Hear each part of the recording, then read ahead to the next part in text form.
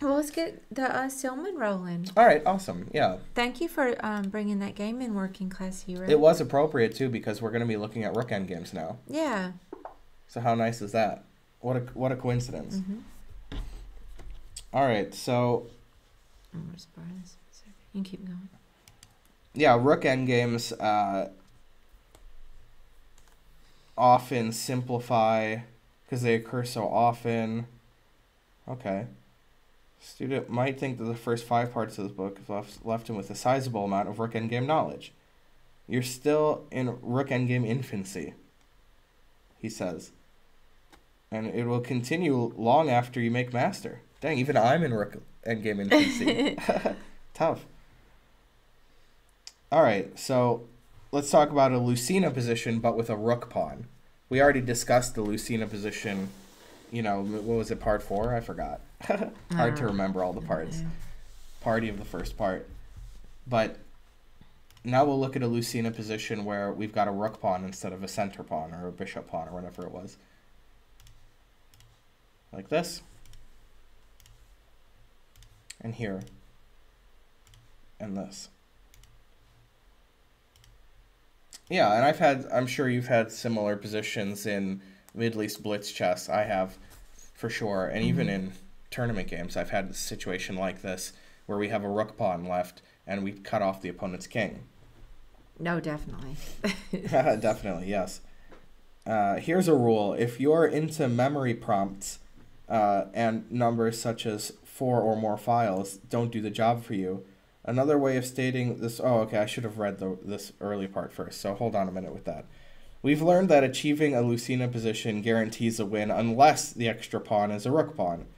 The rule with a Lucena rook pawn, I'm using the word Lucena loosely here, Mm-hmm. since a real Lucena position only occurs with a knight, bishop, or center pawns, is the black king needs to be cut off four or more files for white to win. One, two, three, four. So it's four Mhm. files away. So that's going to be enough to win. Whereas in a Luci- normal Lucena position, one file is more than sufficient. But here you need to be four files away. Okay. So now here's the rule. If you're into memory pumps and you don't want to remember four files or more, uh, just remember this. It's a win if the enemy king is cut off on or beyond the bishop file, the further bishop file, being this one. This is where the bishops start. Okay, yeah, that's easy. Yeah, then if you're anywhere over beyond that, you know it's a win. You don't have to remember the number of files. Mm-hmm. I would agree that I like when it's, you know, a, a thing instead of a number. Mm-hmm. For me, that's easier. But everybody's different. Mhm. Yeah. Yeah, often, like Mark saying, the rook will just keep checking the king until you have to go in front of your pawn.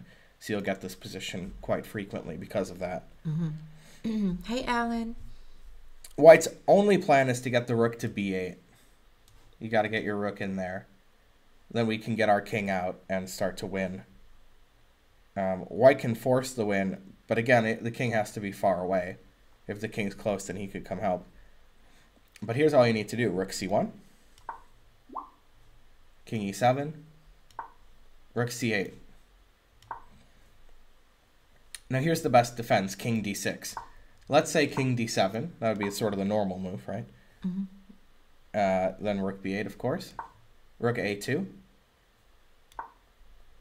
And King b7. Don't blunder here with Rook check. See, this is actually forcing the king forward.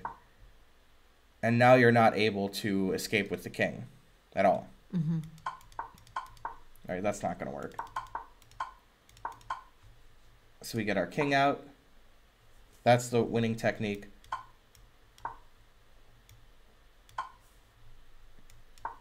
And then here, like this. Now we can just keep approaching the black rook. And if black ever stops checking and goes behind our pawn, we queen because our rook is defending. Right. Okay. So this is a pretty easy win now at this point. There's nothing black can do.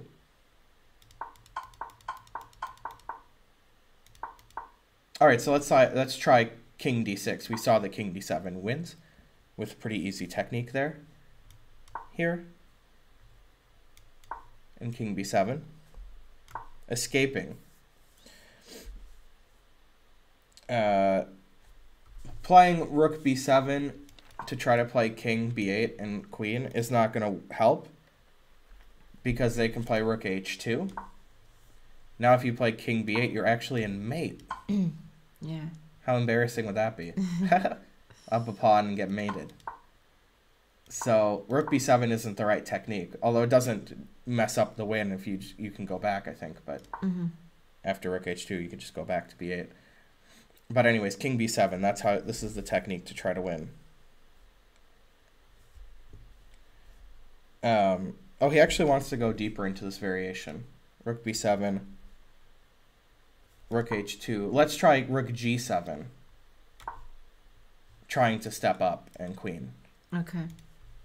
We'll go back. Right. Now, okay, so that didn't work, right? Mm-hmm. So let's try rook b1. This is actually is messing it up. We could play king c7, and this is a dead draw. But let's spend a moment explaining why it's so drawn. First, uh, black to play, if it was black's turn right now, he would just play rook c2. And you're never kicking my king away. So I can always move my king up and down if you keep checking me Mhm. here. So that's sort of like the threat to play rook c2 and you you can never kick my king off this file so you can never escape with your king. You can never win then because you can never promote your pawn. Uh, so let's say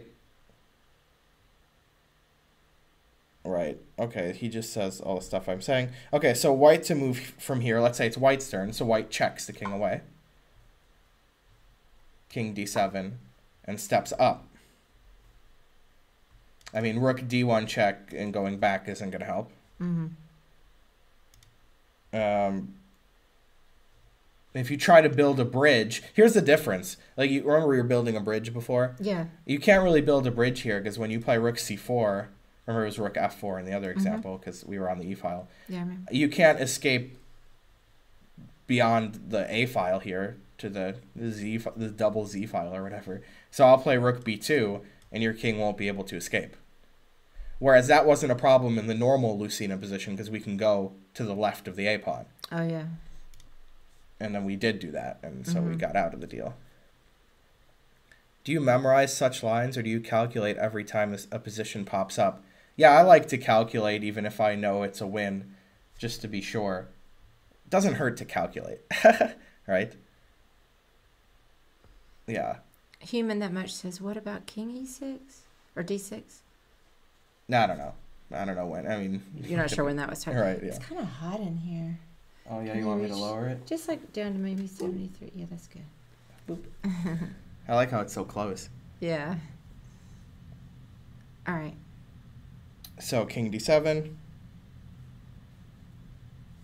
Uh, Well, I have to calculate, uh, dear Balak, because I don't have a lot of, you know, years of experience and just memorized knowledge, and my calculation isn't that great. Now the difference here is that our rook isn't on b8 like in that other position, so we'll go here, and now you can't queen. Mhm. You have to go back, and then I'll check you. And so you're not making progress. This is going to draw.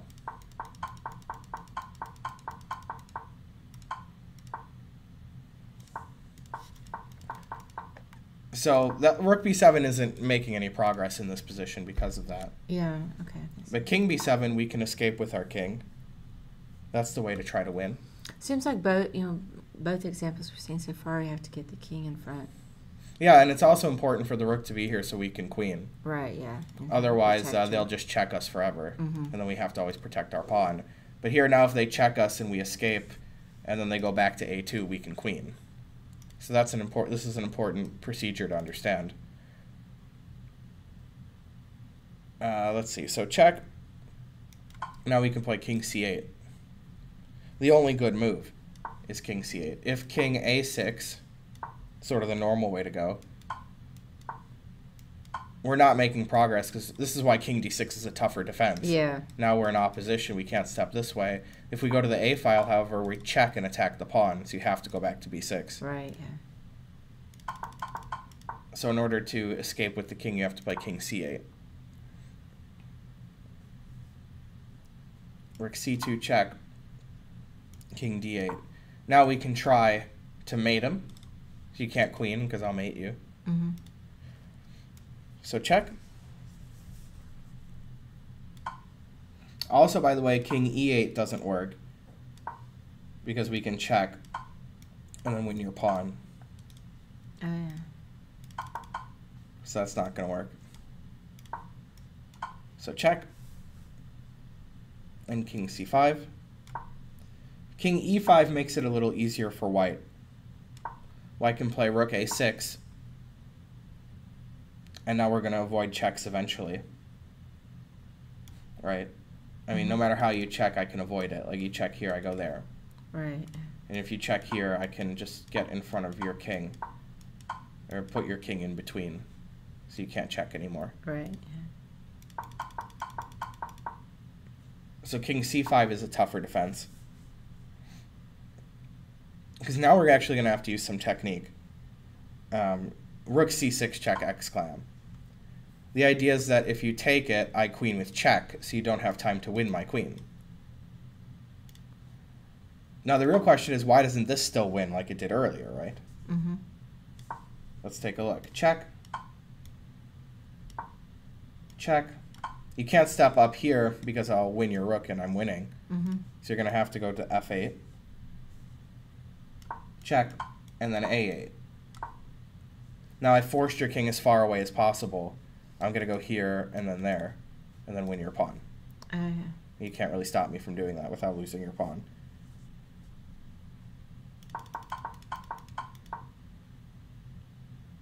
So rook a6 doesn't win because of that. So that's why this is a tougher move. We can't walk this way, Yeah. that as we did against king e5. So rook c6 check, you're going to need some specific technique to win this. Uh, not taking the rook doesn't help because uh, we'll play rook c8, I guess. Yeah, for example, king b5, rook c8, followed by queening. And we can even hide if they keep checking us now on b8. All Mm, done at yeah. this point. Yeah, we can play later, Cameron, but we're gonna do a bit of uh, learning for a bit. Learning is fun. but definitely we can play. He's anxious to beat me down again. Didn't you beat him last time? I don't remember. And if we go over here, now this will win because we can run this way. Because we force the king off of c5, so we can go to b6 if they keep checking us. See, we couldn't do that with the king on c5, right. And now we win. So the best try, I guess, is to take, but after queen, we'll win. Now, usually it's pretty difficult to win queen against rook if the rook knows how to defend it. Uh, I can, in fact, he says I can imagine some of you looking on in horror and thinking, I'm not sure I, I know how to win queen versus rook. Mm-hmm. And if you look at the contents, you, he doesn't cover queen against rook in this endgame uh, course. Mm-hmm. I wonder if they have one of those drills on the chess.com. Drills. Uh, I'm sure they don't because you can't. Even somebody who knows what they're doing has a very hard time beating a computer I see. with a queen. Although I think Mark can do it actually. Mark's like really good at queen against rook specifically. Mm-hmm. But yeah, here the the problem is that this rook is far away from the king, so it's going to be fork town, as you might imagine. You just have to play it precisely. Mm-hmm. Rook, Um, Mark, yeah, Mark just said it's simple. well, the one here is simple. Yeah, because the rook is Yeah, falling. yeah. Right, exactly. Uh, yeah, this is yeah, Alan. This is from the Silman's endgame book, and all Mhm. of um, the recent ones are still on the Twitch video on demand. And if those have fallen off already, they're all on our U- our Chess Club YouTube yes, um, channel. And hey, user, user, how's it going? And hey, computer fly. they have those different queen versus rooks, I think, because they're just like the end of it. You know, like the, the very end of queen versus rook, where the queen mates by force, or the rook forces a stalemate, probably. I don't think they just have like a random position, queen versus rook, but maybe. Mm. Hey, Walden Pawn. Maybe they do. I don't know. All right, so here king c5 is the only reasonable move. If you go to any of these squares, queen b8 wins the, the rook. Queen c8 check. King d4. Queen g4 check. King d5. Queen f5 check. King c6. Yeah, you got to watch out for this move, right? If you go, you put your king anywhere else, it's it's forked Yeah, down. yeah. So you have to try king c6.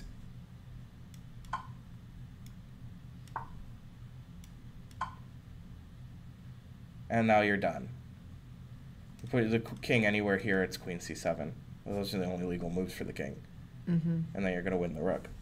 Oh yeah. So yeah, if the rook and king are so separated, then you can you can force a win of with a fork like Or- this. Yeah. Sure, it's not the only sequence of moves that forced a, a win, but yeah. Yeah, and that's what Mark's saying. Exactly what you just said. Mm-hmm. Yeah, Walden Pond. Well, I don't know who won our game, but I'm glad that that uh, got you here or got, piqued your interest. Yeah, definitely.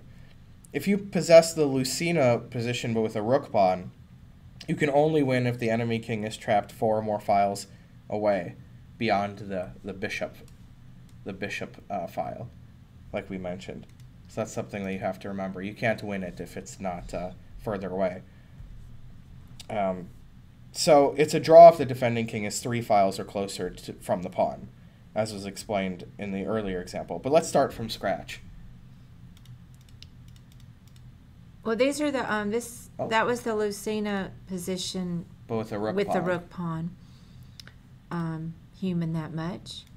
Um, French Empire, you know, Ben is not here. That's true. He's sleeping like a grandmaster. All right, so this position with white to play, this is a draw. Black's king is close enough to trap white's king in the corner. Let's say rook h1. King d7. See, here's the, the difference. We were playing rook c8 like Mhm. this, Yeah. but now playing rook c8 is not going to help because he's too close. He'll play king d7, and Oh, yeah, then and you you can't can't play rook c8. Yeah. So rook c1, rook c8 isn't working. So we can try like this. Rook h8. Trying to go there. With perfect play, and I'm sorry, I spaced out for a second. How many? Where did the king start out on the e file? Okay. Yeah. So with it's, perfect- it's more. It's closer than the the bishop. Right. file. So with perfect play, what should happen? Draw. Okay. That's yeah, the king has to be over That's to the bishop file in order to win. Just making sure. You got it. All right. Rook b8. So it took white a little extra time, and now black's king is in a really good square. Rook h2. Rook b7 check, king c8. So yeah, we can check back and forth, but then we're not getting kicked. So we'll go here. Mm-hmm. Now how do you think black should play? Um. We looked at a similar position before, actually.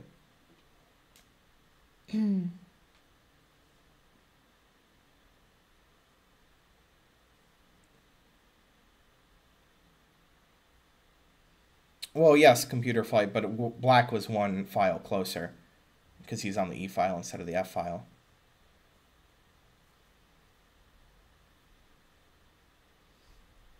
Let's see what, what I thought of was bad. Maybe rook c2. Better than the chat, huh? Nobody in the chat said rook c2. Well, he actually just put it up there, but Mhm. yes, rook c2, exactly right. Mm-hmm. Because if they check the king away, Then they could potentially win. yeah. Now they can't potentially win. Mm-hmm. Rook h7, which a lot of people said, that's like the worst possible move almost. I just check and win your rook. what are you guys doing? Mm. Mm-hmm. Trying to lose on purpose? Yeah, here. Now you can't check me. So my king is staying on the c file for all of eternity. Just go back and forth. You can't ever escape with your kings. You can't ever promote your pawn. So it's a draw. Hey, intelligent. Nice. Hey, Ema59. So yeah, when the king is too close, then it's getting here faster, white doesn't have the time to play rook b8 anymore. I mean, he does have the time to get there, but the king is already very close. and uh, we can't escape with our king. Right. Yeah. And obviously, any closer would be the same. I mean, black doesn't mind to waste a tempo to get to the same position we just looked at. Mm-hmm. Nice. Yeah, we are streaming earlier because we wanted to go a little bit longer to make up for no stream yesterday. Yes, that's true. Mm. All right, now let's look at another common scenario where the opposing rook is in front of the pawn.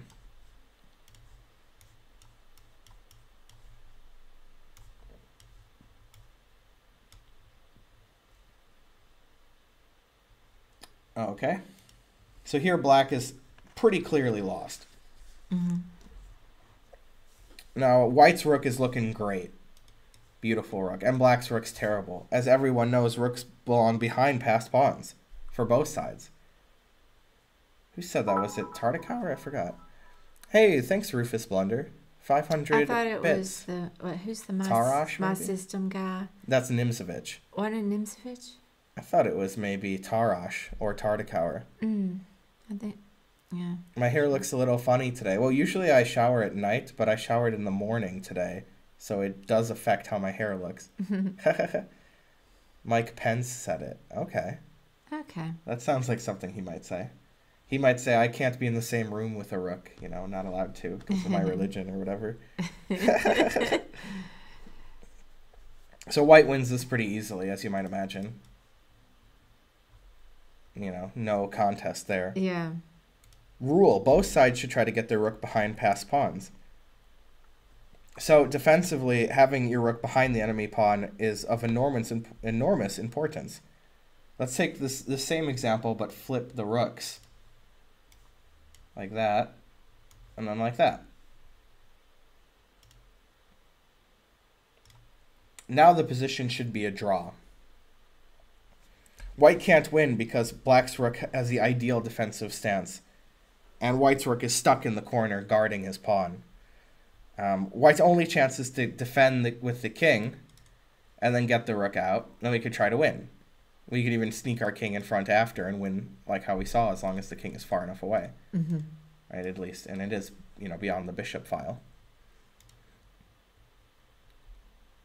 Uh, let's see. Anybody saying something funny? Well, computer fight is pretty funny. Yeah, we're actually just using the chess.com analysis board, Mm-hmm. Walden Pawn. Yeah, that's true.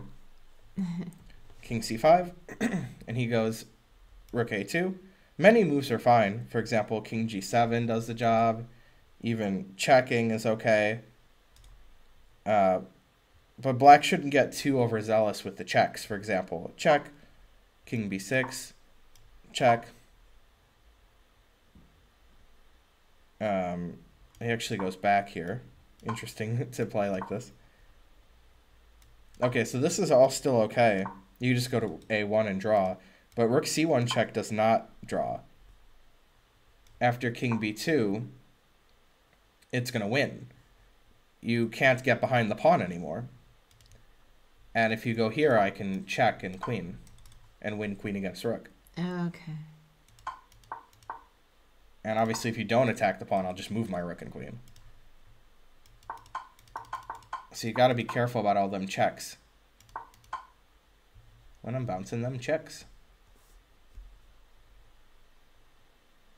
Uh, here's another good way to lose. Rook a5 check, blunder. Now we'll go here, attacking the rook and protecting our pawn.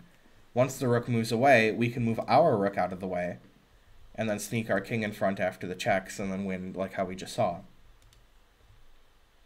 in the previous example. So yeah, you can't be just checking all willy-nilly. Here, I didn't know that there were Silman courses in chess.com. You mean um, videos are actually interactive? Um, oh, he wrote um, things for them. I didn't even know that. interesting. Like unique Cool. things for them. Yeah, we'll have to look at it maybe at the end of all this. The drill section is nice for end games. Yeah, we were talking about that earlier.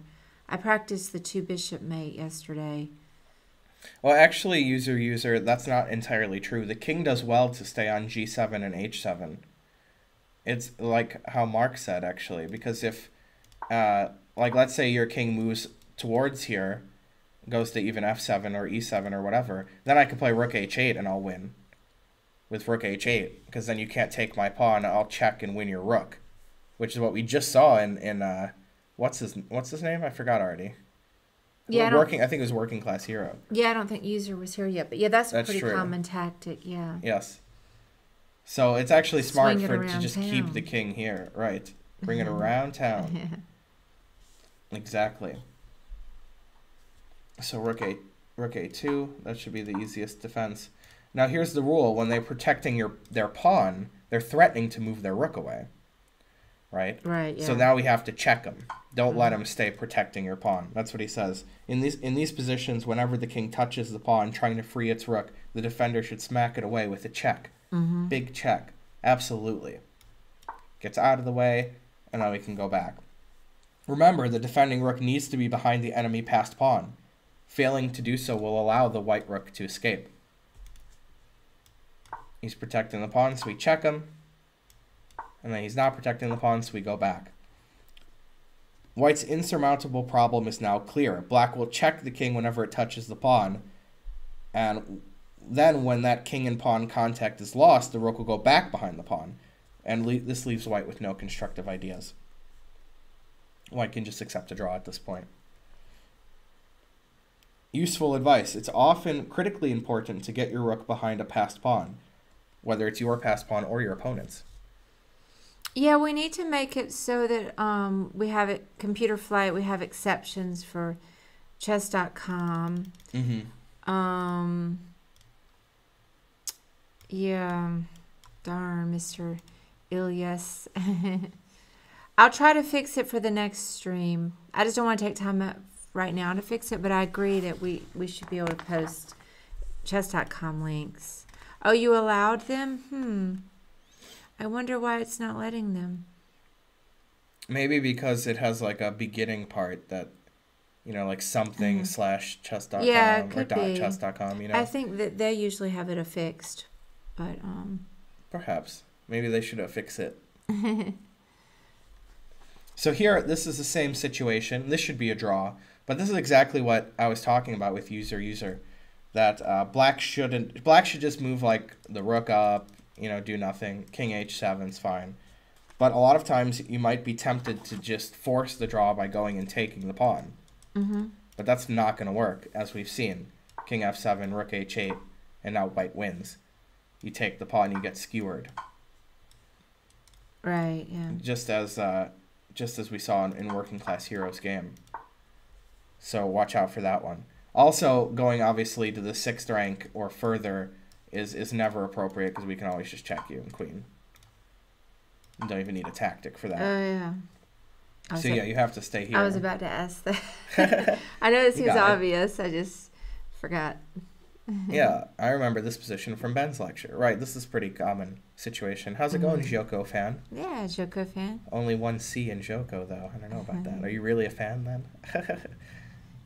Yeah, somebody send me a whisper if they figure out the issues with posting links, and then I can try to fix it later. Because I see that you guys are talking about it, but I'm not paying attention. I would like to fix it though. All right, let's say that we have this situation, but a, a step back, such as here. Check, and then that's there. Okay, here we go. White to play. All right, so here's an important question. If black gets his rook behind your passed pawn, with your rook in front of it, but the pawn's on the sixth rank, Mhm. should you push it to the seventh rank or leave it? Well, as you might imagine now, if you push to the seventh rank, it's going to be a draw. This is the same thing we just saw. Mhm. Um, so pushing to a7 creates an instant draw. The previous example should have convinced you of this. But white's rook, because white's rook will remain passive forever, and any attempt to defend the pawn with the king, you'll get checked away. And the rook will go behind your pawn again after you move away with your king. So here's the real question How can white try to win? But it turns out white has many advantages. His king can easily break black's block on the second rank, here, by scurrying over to b1. Scurrying was his word, of course. so then we can be allowed to move forward after that.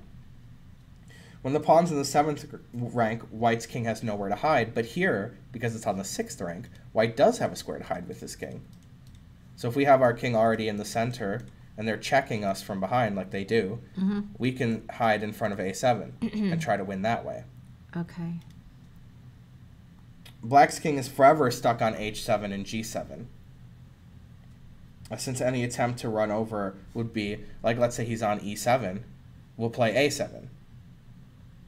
And then we'll have time to go back around Right. and win, like how we saw already. So uh, the king actually has to stay. Actually, I think the king could go to f7, right? F7, yeah. Because then after a7, it just goes straight back. Mhm. But if he's too far away, then we can do our trick again. All these facts make it sound like white should prevail, and if black tries to maintain his rook's position behind the pass pawn, white will indeed be able to claim victory. So let's take a look. Here, Hey, Scottish Demon Goat. here. Black's king can't participate in the defense. Let's say king f7. Now if a7, king g7 is what he says, like how we were talking about. Yeah. But now if he goes e7, now we'll play a7. And suddenly black's king can't get back to g7, h8, or h7, and uh, he'll lose. For example, here, there, and wins, like how we Mhm. already saw. Too bad he's like not close enough to go there. Just one tempo away from that. So king h7, king e1, king g7, there. All right, we did it. We got our king over, attacking the rook, breaking down the blockade on the second rank. So we'll have to move our rook up. Let's try this. Hey, Pinky Jam. Well, we started a little early. Black's doesn't intend to go too far. If a7, he can still run here. King b5. Now here we have that same scenario we talked about in the other situation when the pawn was in the seventh rank. The king is protecting the pawn, here thereby allowing the rook to try to escape, right? Mm-hmm. But I guess we'll check him, right? Yes. Pretty good at guessing. Mm-hmm. But now here we can hide Right. on a7. White's king has reached the safe haven on a7, and White's rook is ready to finally emerge. Now we can go here, because he can't do the same a7 rook h8 trick because his king's on a7. So we might as well get our king out.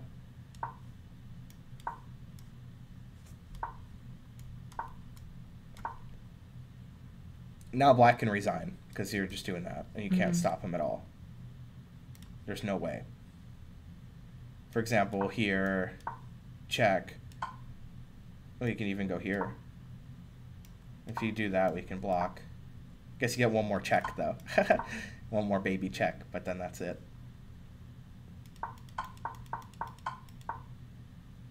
All right, so that won that time for white. So here's what's a rule that he's giving. When defending these positions, the normally successful passive defense, just moving the king back and forth and so on, which works so well when the stronger side had the pawn in the seventh rank, um, doesn't work, succeed here if the pawn's in the sixth rank. Right? We saw that white won, Right. and it was forced if black defends in this manner. Uh, It's a win. Hey, Pat Sirius. Hey, CL Smith. Spite checks are important. Yes, that is true, especially like in a blitz game. So is this a win after all? No. Black can save the game if he's familiar with the surprisingly little known, although extremely extremely important, Vancura position.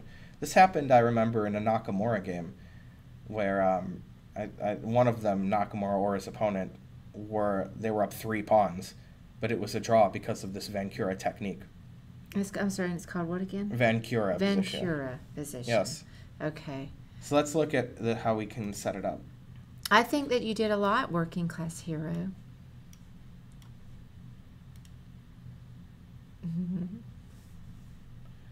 So either side to move in this position, it's a draw.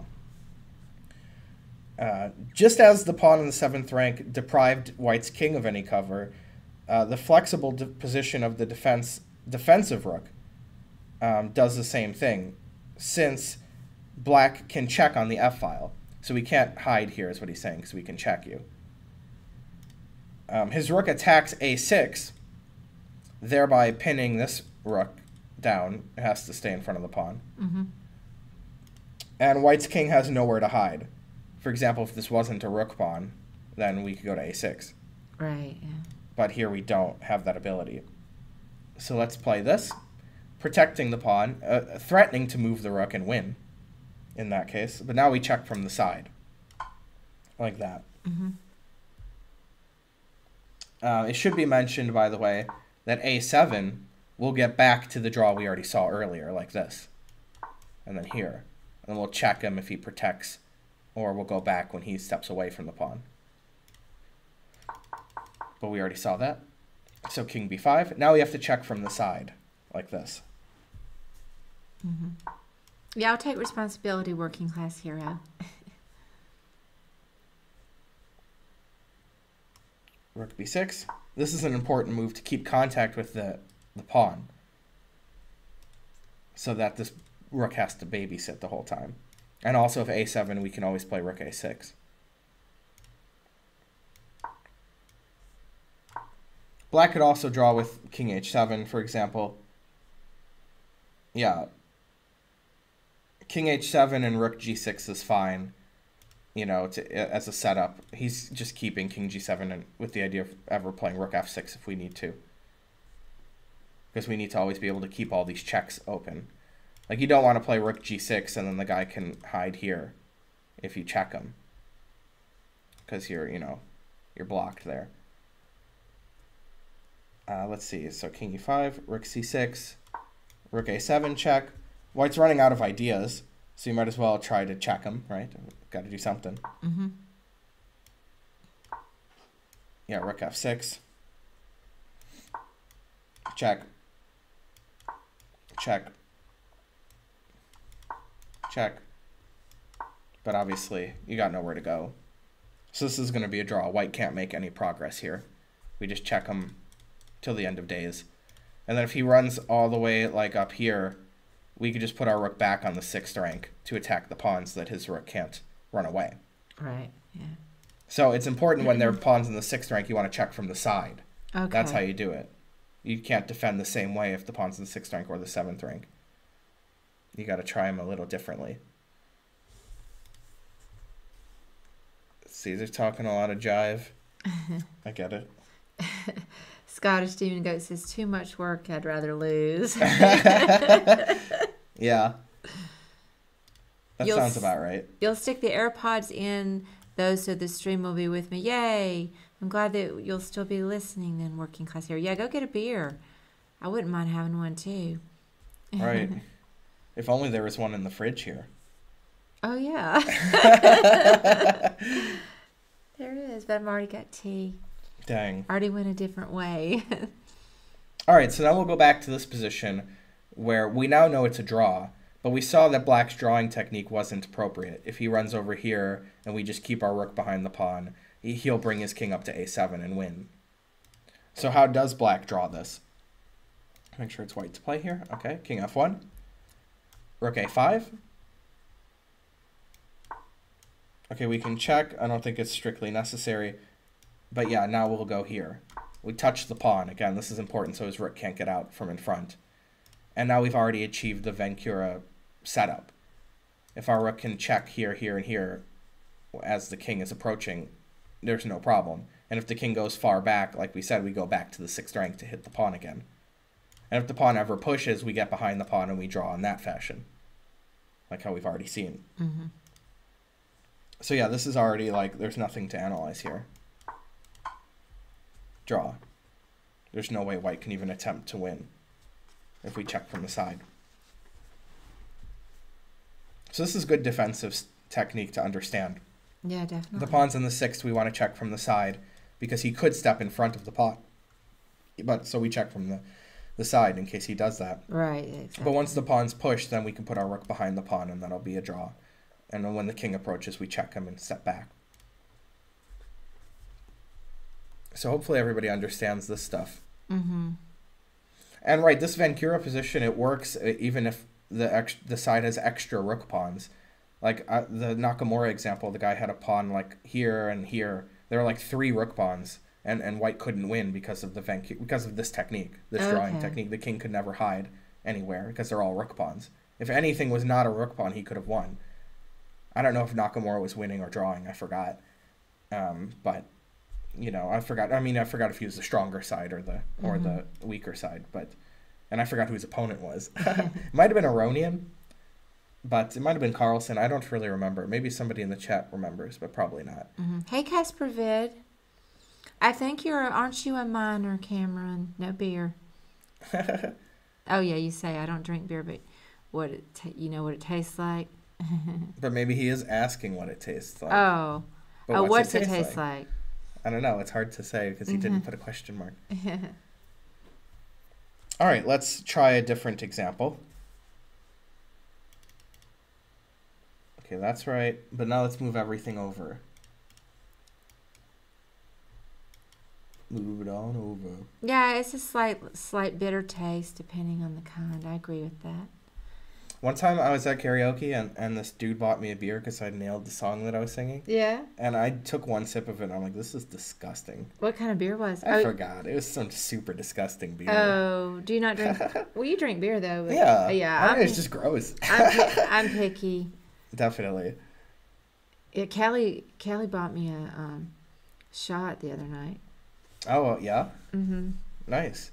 Shots, shots, shots, shots, shots, shots. You know that song? I've heard it. Everybody. Did you go? did you go Thursday night? I didn't go, oh, Okay. and I won't go tonight. I'm not going tonight either.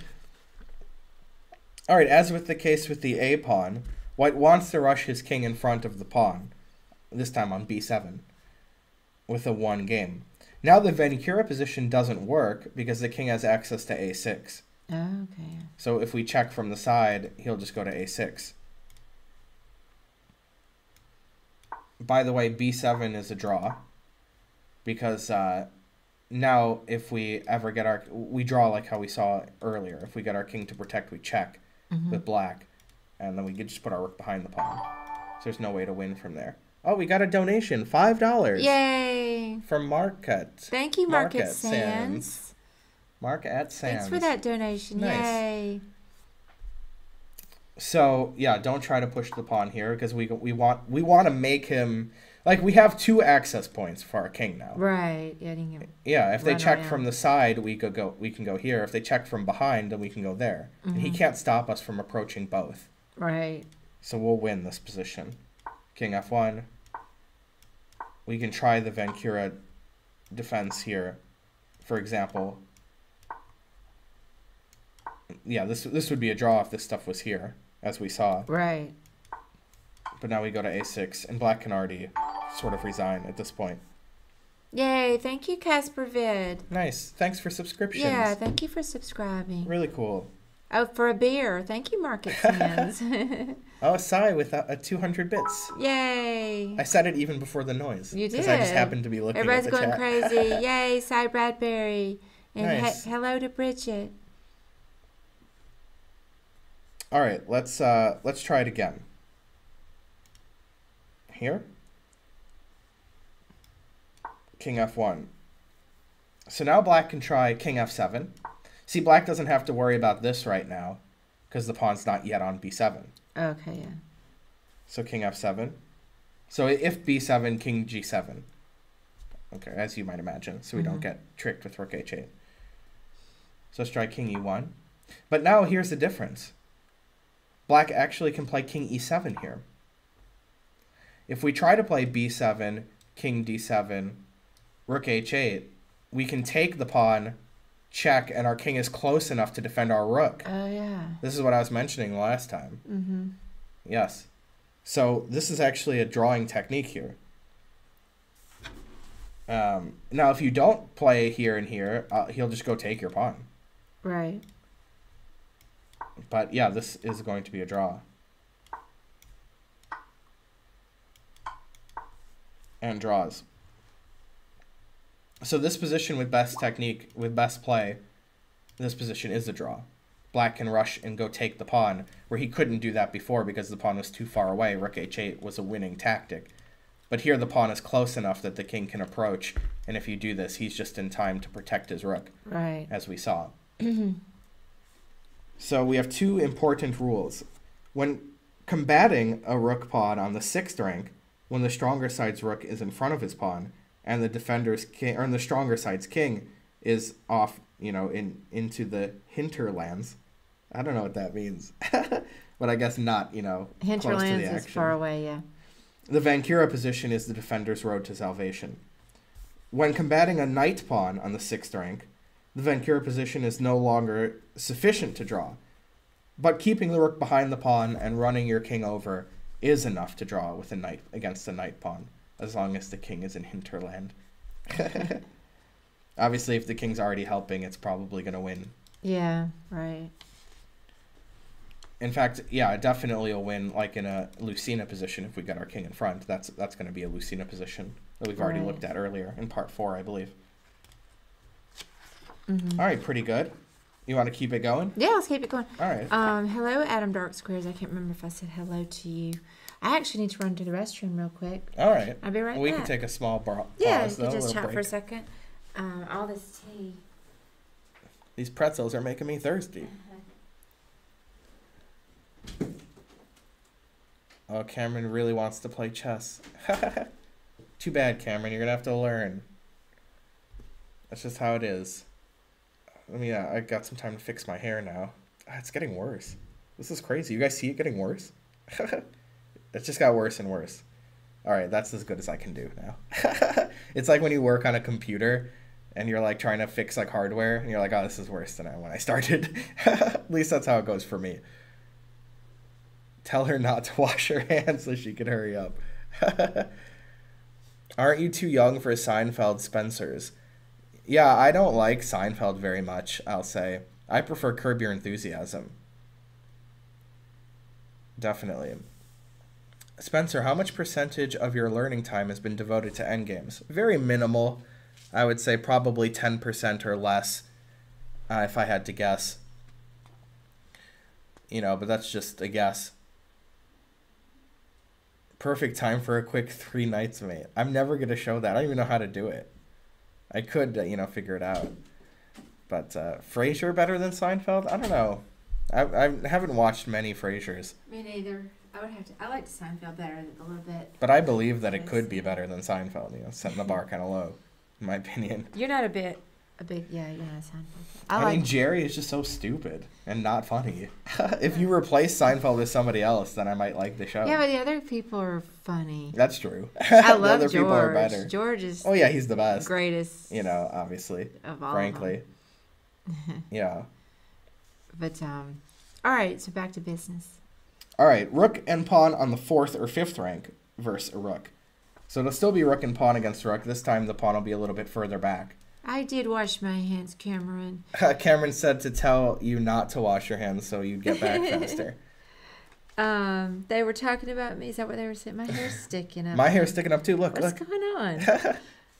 um, All right, it's very staticky in this room. Yeah. All right. Well, I'll just ignore it. All right. George's parents are the best characters in Seinfeld. Yeah, I love George's Yeah? It's hard to argue with that. really hard to argue against Yeah, they're that. great. All the parents are great on there. All right, Alright. so we've already determined that the game is easily drawn if the defending king can get in front of the pawn, like the Philidor position that we talked about in part 4. However, what happens if the defending king is trapped one or more files to the side of the pawn? The result of the endgame depends on whether or not the stronger side can reach a Lucena position, which should win. And this is determined by the following specific rules. Uh, as usual, rook pawns form exceptions, so we'll only explore knight, bishop, or center pawns. Here's a rule. A pawn on the fifth rank or beyond wins if the defending king is cut off by one file on the long side of the board. Wait, I'm sorry. Read it one more time. That last. Well, sentence. first you have to know what the long side of the board is. Okay. So in chess, it's chess is a eight by eight board, right? Right. So that means that if you have one pawn left, you're you're gonna cut the board into two sides, not including the file that the board is on. Or that the pawn The is on, on, okay. rather. Like let's say this, for example. Okay. So then this pawn is cutting the board in into two pieces Oh, okay, that I are not equal halves Yes. because uh, you know there's seven files remaining. hmm So this is the long side and that's the short side. Okay. I understand that. Oh, get out of here. I've never heard heard it referred to that. That is important for a lot of rook pawn end games. Okay. Absolutely. So that's something that you're gonna have to get that jargon. You're gonna Yeah, have to yeah, get used to. definitely. Definitely. Chad has separation anxiety. Oh, bye, Neurononum. Take it easy. I, I agree Frasier's not better. But I do agree that SpongeBob is better than those shows. Definitely. All right. So a pawn on the fifth rank or beyond wins if the defending king is cut off by one file on the long side of the board. Now, a pawn on the fourth rank wins if the defending king is cut off by two files. A knight pawn is an exception, and it, you'll have to it'll have to be three files away. All right. So let's look at all of these examples. Yeah. Because I can't remember it without seeing it. Seeing is believing. Also, when he says fifth rank or beyond, I don't know what beyond means. Does that mean fifth, sixth, seventh, or eighth? Well, obviously eighth should win. All right. Yay, beer.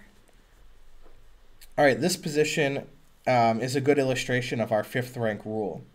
A pawn on the fifth rank or beyond wins if the defending king is cut off by one file on the long side of the board. So this is the long side, Mm-hmm. obviously, Okay. frankly. Okay. And so- that's the short side, there's only one. Oh, I see. So one. Okay. Towards the direction of the long side. So one All right. file. Yes. All right. I see that. Exactly. So the king's on the long side, long side, wrong side, and that's not where he wants to be. Mm-hmm. Um, now it's time to address the long side and short side of the pawn. The short side. This is why I already said this. I would have said this earlier, but I didn't write the book. So, the point is that the defending rook can use the long side for long distance checking. See, I can move my rook all the way over here and check you, and you can't approach without having to move very far away from my pawn. Mm-hmm. And that's why having the king on the long side is better to win and tougher to defend in this case. Mm-hmm. Yeah. Um, let's see, just skipping a bunch of words. Yeah, he is saying it's very flowery language. All right, so white to play, hopefully. Yes, here we go. King h5, preparing to advance the pawn. If black does nothing, white wins easily, like this. Mm-hmm. Easy to win. Check. Now we're threatening king g7, g6 mainly, etc. Check. Now we got to defend our pawn, so we'll go here. Check. Now we don't have to defend our pawn, so we can step up. So already looks like a Lucena position. If not rook g1, white would play here and then there, and then that is a Lucena position. With the king on the 8th rank that we already Mhm. looked at. So we'll go here. King h7. Now, of course, if you check, I'll get king g8, then I'll get g7, then we'll win in, in Lucena style. So, um, he tries king e7. Here. But then we still get it. Yeah. And now we're going to win like how we saw already in the Lucena position uh, from part 4. In a pawn down rook endgame where the defending king can no longer stay in front of the enemy pawn, the defender should always move his king to the short side of the board so that his rook will have the checking distance. So like if your rook was here and the other king was over there, then we can try to check from the side and have a far distance away from this king.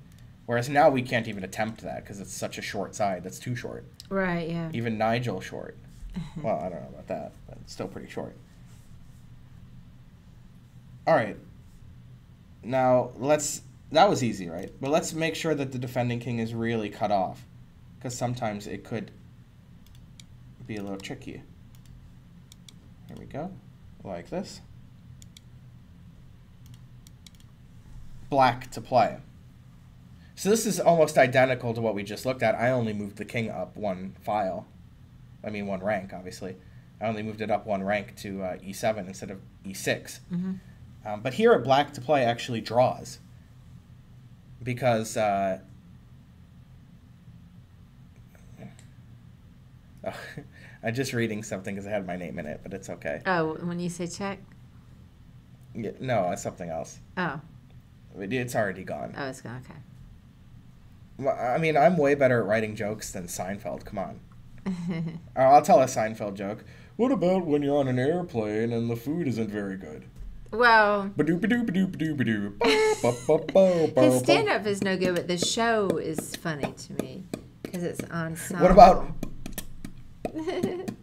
you like that? that? Doesn't bother me. It bothers me. That sound. Yeah, it's so stupid. it's so stupid. Spot on impression.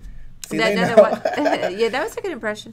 It doesn't bother me because the other characters to me are so funny. That's true. I do like the other characters a and lot more. George, I love George. And I like Newman. yeah, Newman's good. Newman's good, but even still, it just how come the worst character is the like I know, name the crazy. central part of He it. can't. He can't act. Anyways, uh, so here it's black to play. This is a draw, almost identical, but black draws with rook f8. Now our king is not cut off. We're gonna move here. And trading will be a drawn king and pawn game that we've seen in part like two or three or whatever. hmm Yeah. For example, rook a2, king f7, exclam. Got him. And that's it for this example. This is a draw if our king's in front because we already looked at the Philidor position. Right. All right, now let's talk about the short side.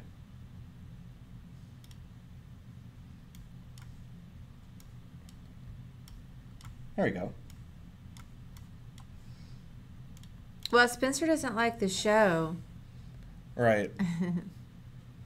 Yeah, it's just not. I mean, it's not like I hate it. It's just you know, I wouldn't watch it if it's Mhm. on. I'll turn the channel to something else. Mm. But Yeah. there, there are worse shows I could think of. All right. Our next example shows how the defender can draw against a pawn on the fifth rank if the king is on the shorter side. So clearly, this side with three files to the left of the pawn, that is a uh, that is the short side. Look, I always wondered this. You see how I accidentally opened up that dialog box? Yeah. It's not there on the screen. Oh. I always kno- wondered if, if you could see oh yeah, because it's a it's a things. Mm-hmm. Windows dialog and not part of the chess.com Right. dialog um, pop-ups. So this is the long side and that's the short side. So now the king is on the short side. And we'll see that we can draw this, actually, I believe. That's pretty, pretty sure. Okay, and hang on. Yeah, intelligent. Um, I actually am dying to play Among Us. I have not played it yet, but my older son is going to show me how to play it when I get a free moment. Um, but yeah, I I think it looks fun. anyway, is Spencer and everybody loves Raymond kind of guy? no. I love I love that show. What? I love that. You show. love everybody loves Raymond? I love it. And I didn't watch it when it originally came on. I saw it as reruns. Yeah. Yeah, I- I thought it was really funny. And then there was some other show after that that he was on. Um, I can't remember the name of that show. It had like three men as the main characters. Two and a half men. I know. I Dang loved it, I loved what that show too, but I it was never a more a more serious role. Yeah, really? I only like animated sitcoms. Dur. Mm. Dur. Any advice how to memorize the algebraic notations? I have the You same You just problem. have to get better at chess. I think That's you just keep is. playing toilet break. I they do have the square um, memorizing tools on both Lichess and Chess.com, but I don't think those are any good. Um, I think I've just slowly gotten better with them, so I don't have to think about the name of the square as I've played. But men of a certain age, that was it, Alan. Yeah, that was a good show. Nice, nice. Thank you. Called it. All right, so black's right. king's on the short side. Black draws by giving his rook checking distance on the long side. Ah, sorry, I was trying to make sure whose move it was, but I keep I always do that. Press the Mm. wrong button there. Yeah, yeah. Rook h8. So now we can check along the long side if we need to. And if the king ever goes and approaches us, we can go behind the pawn on the d file. Because we have enough room. Right. Okay. because we're on the long side. And incredibly, white has no answer to this. Um, d6. If you try to block the checks with the rook, then our king can step in front. And we're going to draw in, in Philidor style. Oh, that's right. Yeah. So that's not going to get it done. He also gives another example here. King e5 at once.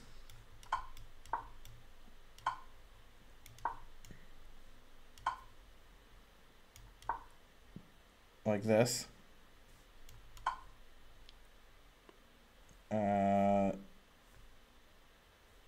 see. He just goes back here because I mean you can't. Oh, yeah, that's the only legal move. But I mean you can't get in front of the other king and go around. Anyway, it's illegal and would get mated even if you could go there. Mm-hmm.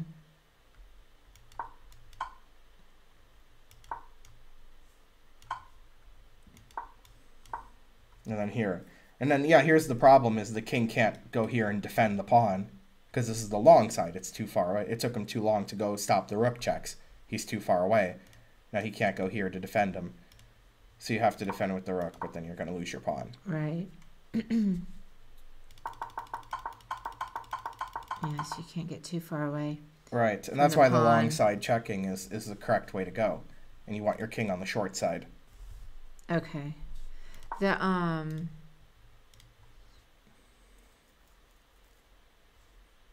Yeah, some somebody was asking me, maybe it was intelligent, um, about playing me. We're gonna stream. Let's see, what time is it?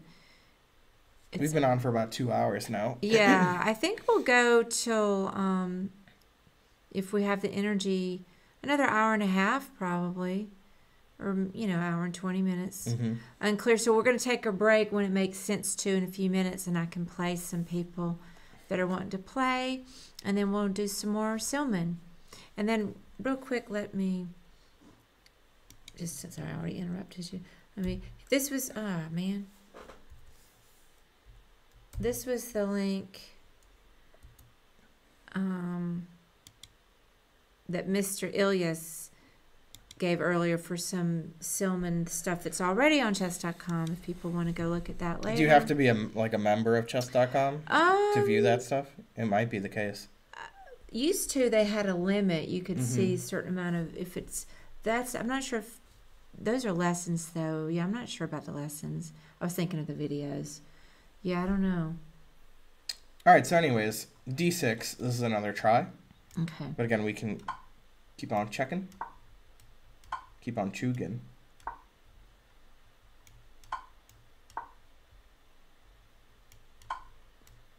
Even here, like, we can keep checking if we want, but even this is enough to draw now.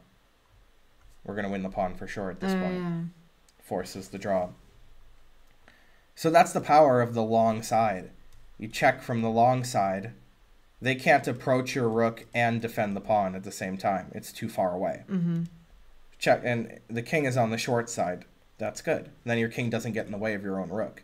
Right. You know, if your king was here, then he could hide like on d6. You can't Mhm. check him from the long side then. You can only check him from the short side, which isn't going to work.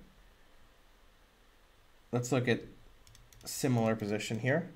Uh, uh, no, things are a little different. Not too much though. This is here, that's there. Like this. Okay. And it'll be white to move here. White to move even in this position with white's turn, it's a draw.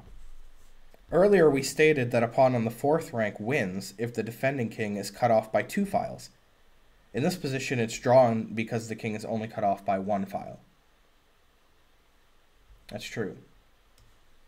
Only one Oh, file. okay.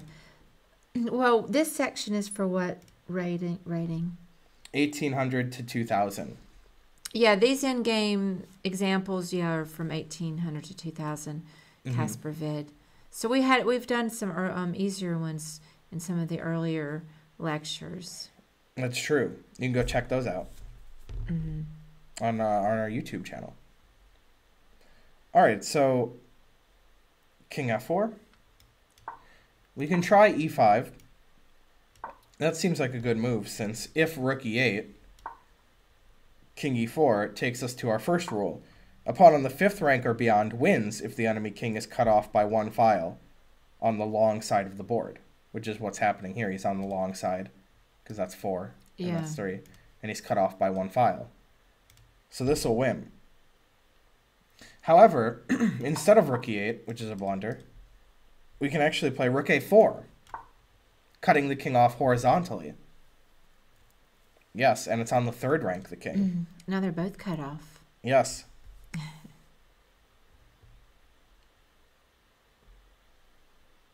Now, if white moves the rook off the d file, we'll draw with king d7 to get in front, of course. And rook d4 is a drawn rook king and pawn endgame, of course. Refer back to part one or two for that, I guess. Uh, let's see. So what is he trying to go for? Let's say e6, right? Mm-hmm. Now white threatens to win. If it's white to play here, white wins by going here. Then we have to go here, only move. And then rook d8 would win. So now white's threatening to win. So we have to stop rook d8 with king c7. Now if e7, rook a8, rook d8, we just take it because we got two on it. And this holds the draw. For example, um, check. Well, if you go here now, this is a forced win of the pawn. Your king's too far away. check. King c8, rook h7 to try to push the pawn. In, but now we can play king d8. And we're going to get our king in front of the pawn. There's no way you could possibly win with your king cut off and my king in front of your pawn. There's no way to win at all from here. So that's a good drawing technique. When the king is far enough away, we can put our rook here to cut it off. And then if we goes further, he's threatening to do this. So we have to play a timely king c7 before he plays e7, of course. Then we can meet e7 with rook a8 and draw that way because the king's too far to approach at that point. All right, so let's try in this position king f4 instead of e5. Now we'll try to play e5, and then if our king ever gets cut off, it'll be further up. So we won't have the same situation we just had where our king can't, white's king can't approach in time. Right. We can check him. A frontal check is quite effective against the pawn on the fourth rank, he's saying. Because it's kind of far back, I guess. King g5. Notice that king e5, check, check, check, doesn't help white because white has to step back to protect the pawn. Mm-hmm. Yeah, I was thinking that. Right, so he'll go off to the side a bit. Now, you don't want to check here. This would be a blunder for black. King f6. And if you check here, we could play king e7. Now we'll win. We'll just move our pawn up. You can't really stop me. So, in this position, instead of giving the obvious check, we'll play to e8. exclam. Attacking the pawn. And so here's the problem for white. If you go back with the king to defend your pawn, we'll check you again. And we're in the same situation we just looked at. If you block with or protect with the rook, now our king can step in front and we'll get a Philidor draw. Good thing we already learned about that stuff. Mm-hmm. So the last try is this move.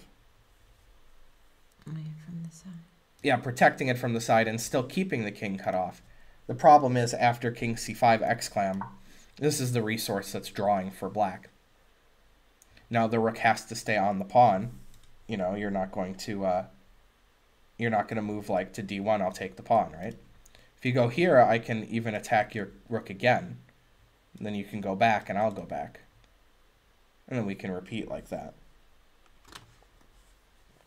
So, um, and this is important to note, actually. If we go back to the start, if our king started on c7, it's not a draw. If the king started here on c7, that'll lose. Because we won't have king c5 in that position that we just looked at. Mm-hmm. And so that that's going to actually lose. Yeah. Well, if it's white, if it's white's turn. If it was black's turn, black can play king c6 in that position and get to the position that we looked at here. But if it, if the king was here and it's white's turn, white wins. Mm, can you just show it to us real quick, just to help reinforce it? Okay. Yeah.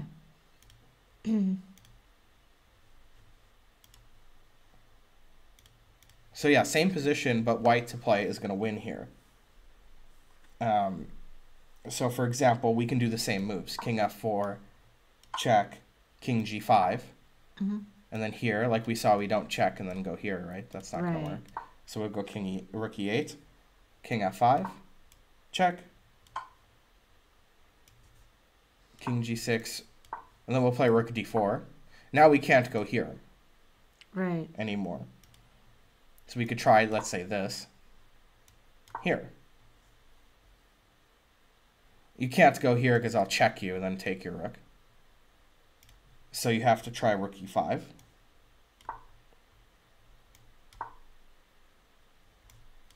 And then we push our pawn, and now we're going to win. Okay. Our pawn got to the fifth rank where we cut him off one square on the long side. That'll win just like how we saw earlier hmm in this in this part.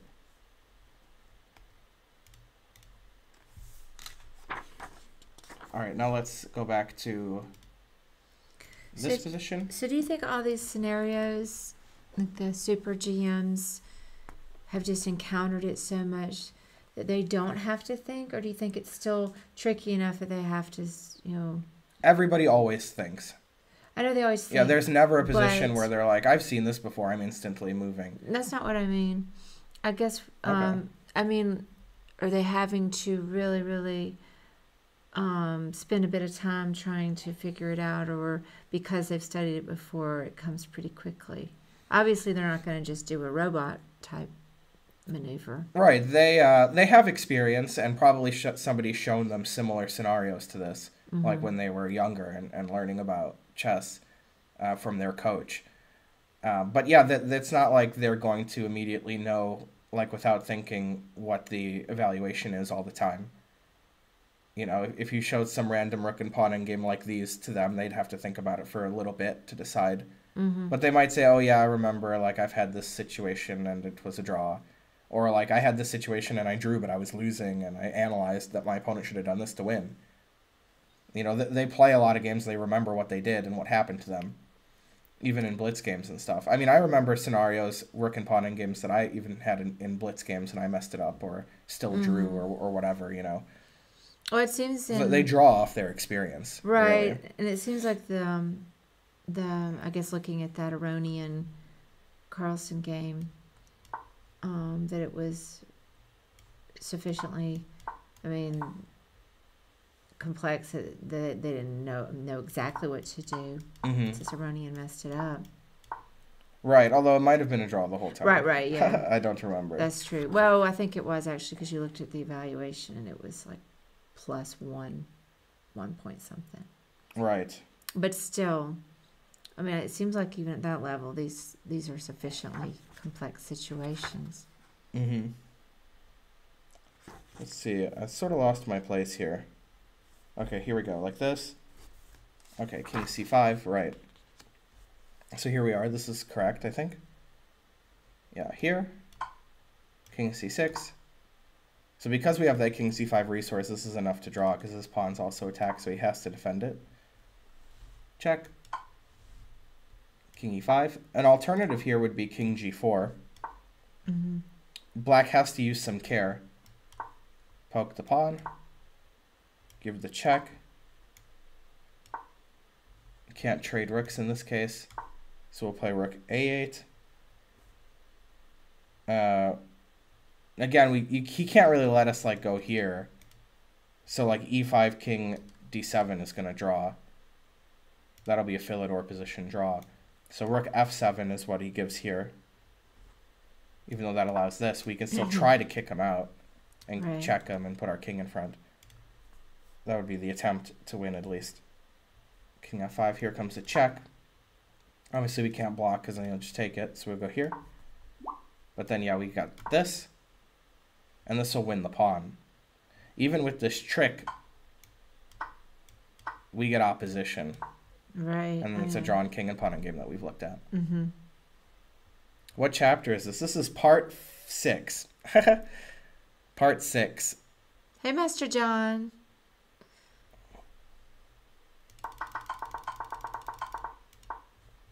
So king e5 instead of king g4. Here.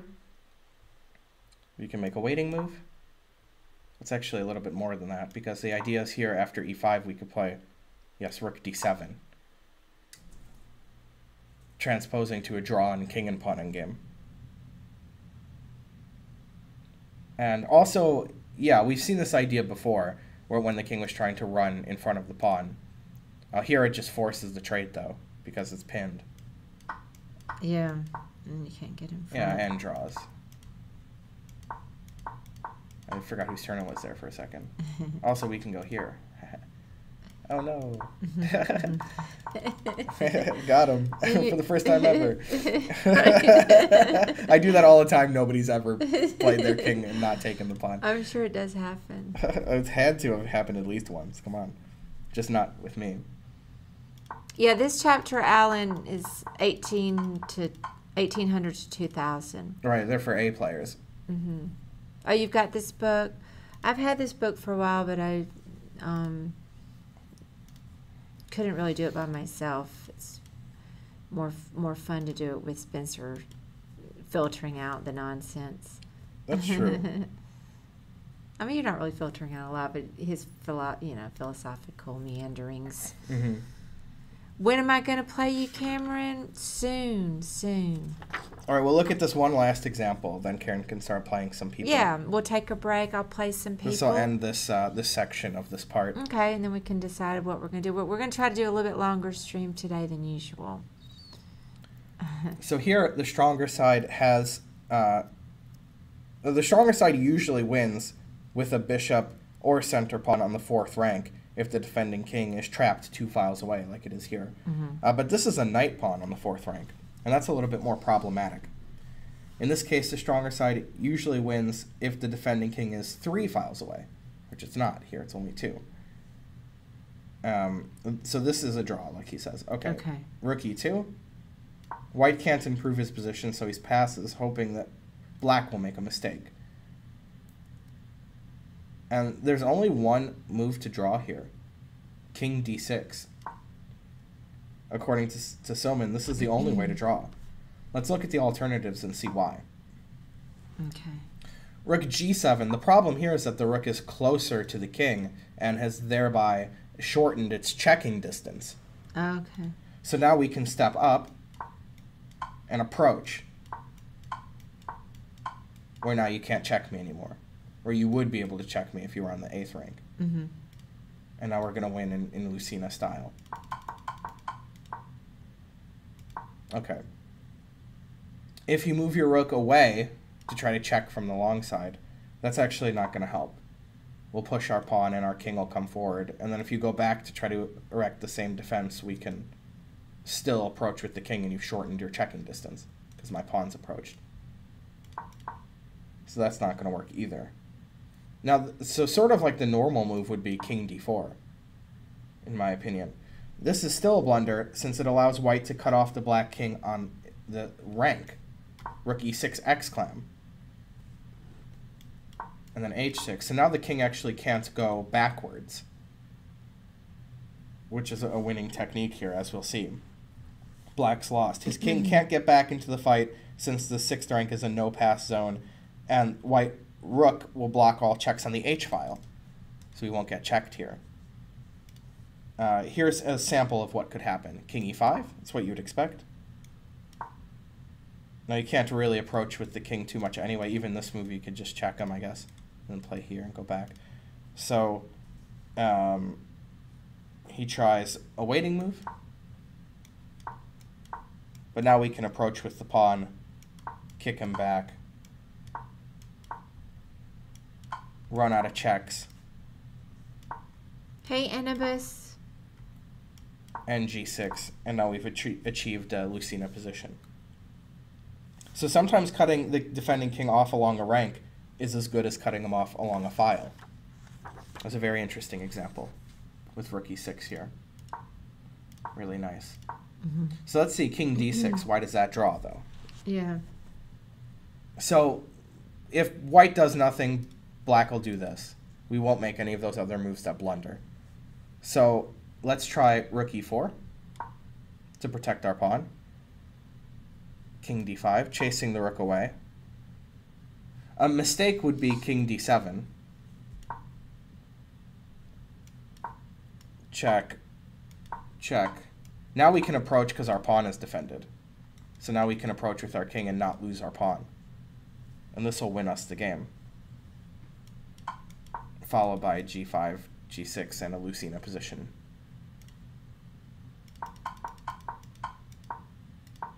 So we have to play king d5 here in order to poke the pawn. Of course, if you go here, we'll just take it. So rook e1. If the rook leaves the e file, we'll go over here, and then we'll get our king in front. And, well, at least, you know, even if they go back here, that's just improved version for black, right? Because we're only one file away instead of two. Um, but yeah, rook e1 is, is the defense, and then we could just go back. And there's no way that white can make progress. It, like we were saying, if white steps forward, we just get checked. If white ever goes in front of his rook, we can move our king over. And white can't push the pawn. White can't do anything. There's no way to improve here, actually. There's no way to, to try to make progress without letting black into the position with his king. Or getting checked repeatedly with the rook. So already here, white can agree to a draw. Do you like Silman's approach to teaching this material? Well, I think it, it's pretty good in general. I like it how he builds. Um, like, for example, I mentioned the Lucena position and Philidor position here a lot. And so people who watched that, watched us discuss that, you know, mm-hmm. several days ago, they know what I'm talking about. And if you haven't, then you, you know, you might be like, hmm, th- does this really win? Because, you know, he says it's a Lucena position, it wins, but I don't know that. Um, well, you can just trust me, or you can watch it on our YouTube channel as mm-hmm. well. Um, or you, you can even find like the Lucena and Philidor positions are so um, are so well known that you can even look online and figure that stuff out. Mm-hmm. There's Wikipedia pages about them. I'm pretty sure. Yeah, I at first I didn't like the way they have a topic and then they only go so deep and then they go to another one, mm-hmm. or Silman goes to another one. But I think it's actually good. I think that's the right way to do it. Because when you cycle back, it's a nice review, and then you build on it. So it's good to sort of revisit. The, yeah. For from a memory standpoint, to see it, then leave it, do something well, else, and then come back. Plus, it doesn't make a lot of sense to look at something so technically um, when you already have other basic stuff you can learn. That's true. Like if you're studying rook and pawn games and you're looking at this before we looked at our king and pawn games, mm-hmm. that wouldn't make a lot of sense. Right. You should an- understand the basic king and pawn games first, especially since we transpose to them, mm-hmm. as you've seen here. Yeah. So okay. yeah, that's a smart way to do it, and I would also suggest that for your uh, opening study as well.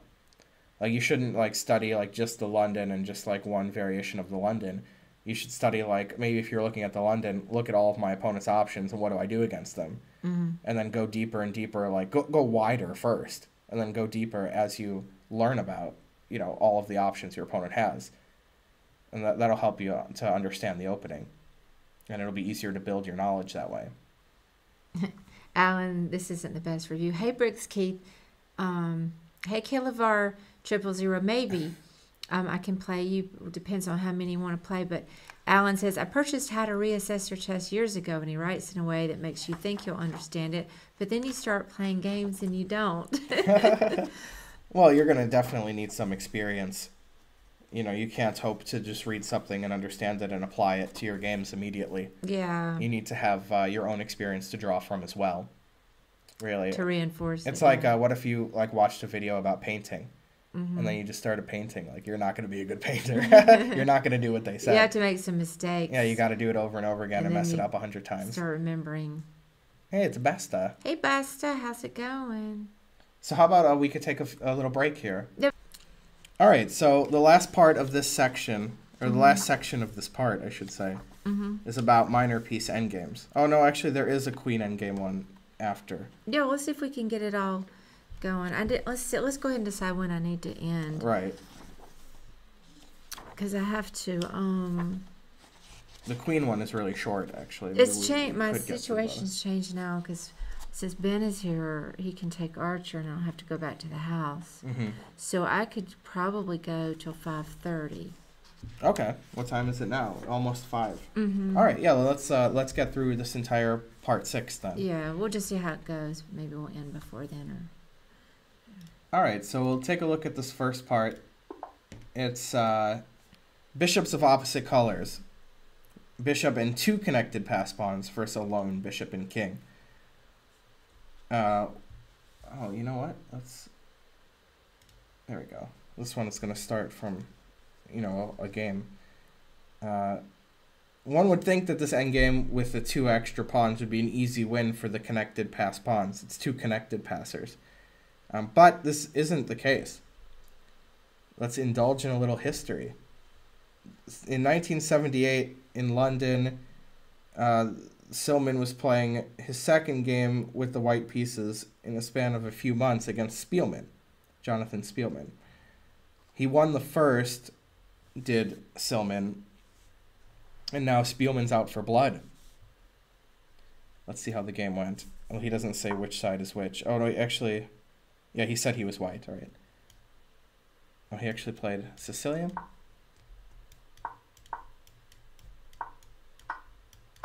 And we got a Najdorf. This is unusual. I don't think he's ever had a whole game in here. Right. It's the first time. Now knight c6, which is a rare move, usually e6. Mm-hmm. Did Ben say he likes to play that or no? Maybe not. My dad plays it without the. It's not a Without the- Oh, okay. Yeah, he plays the classical Yeah. Sicilian. And which this is transposed into now, by the way. This is a classical Sicilian by transposition. This is like a main line. I've had this position with white. I play f3. But he played f4. That's the old main move, f4. b5. Usually after b5 you take here it's like because it can't play b takes. And then a common maneuver is to bring the knight around here. But this pawn is hanging, so he can't do that right now. So he plays this. Yeah, I only look relaxed. That's true. Inside, she's freaking out.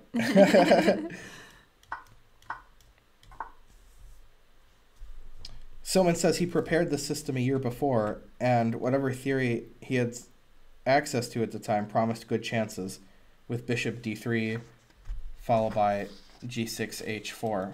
Mm-hmm. Uh, it looks dangerous for black, but he sat there wondering why his opponent was so confident. He just went into this like no big deal. Mm-hmm. And so he took a deeper look at the position for the first time, instead of just memorizing the theory that he had learned from whatever wherever he learned it from.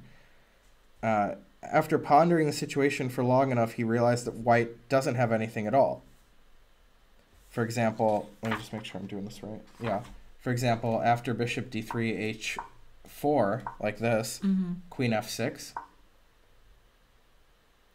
rook d f1 because his pawn was hanging, h5. No, no, rook f d8. Yeah, I was thinking. I don't think black should play f5, h5. White plays h5. That makes more sense. Yeah. Always play bishop f8.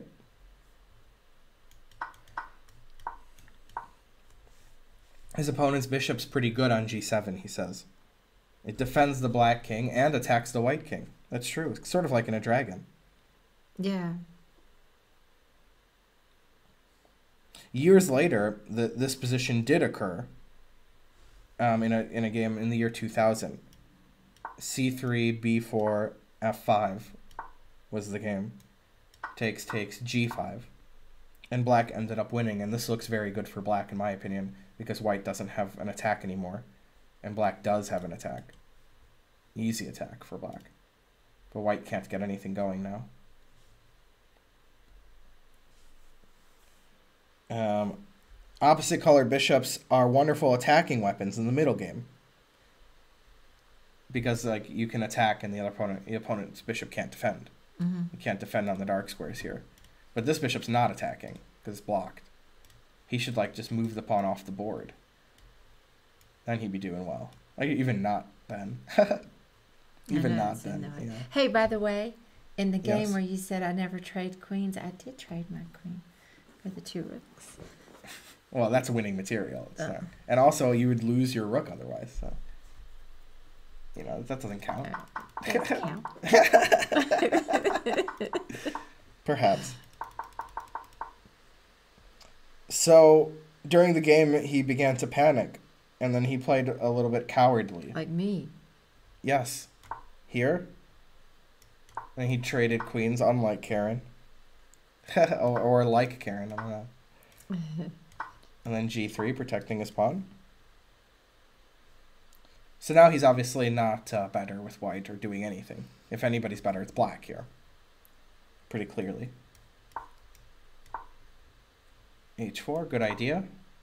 And rook d1, clearly playing for a draw. Since leaving too many pieces on would actually make the bishops of opposite colors useful for black, I made sure to exchange everything that wasn't nailed down. Bishops of opposite color, here's a rule. Bishops of opposite color often give the defender serious drawing chances in the endgame, even if he's one or two pawns behind.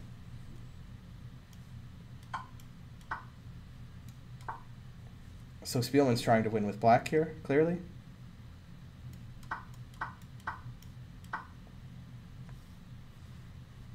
actually, I don't think he took, maybe.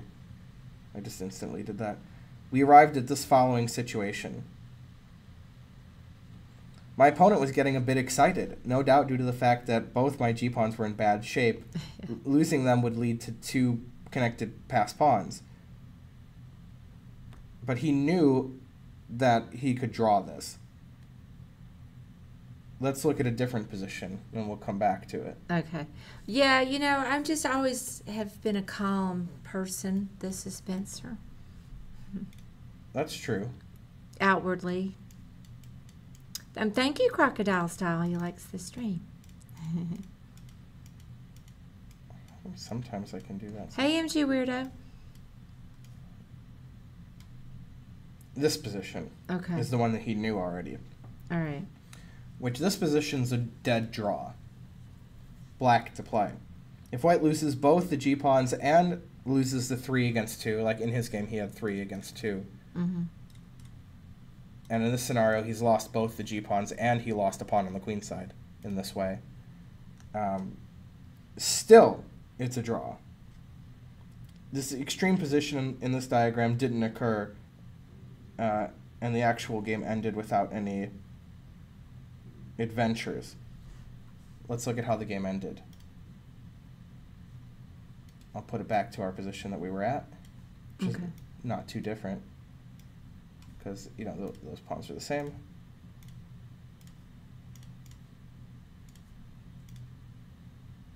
Oh, like this. Move this here. And move this there. Come on, stay a black bishop. Yes. All right. So yeah, in the game, black to play. He actually didn't take this g pawn. He stepped up with the king a4. Again, he's got to try to trade the pawns off, like we saw. And then he took here, and then he took here. Well, certainly white's not losing this position, because Mhm. it's the same position, but he still has two pawns. Right.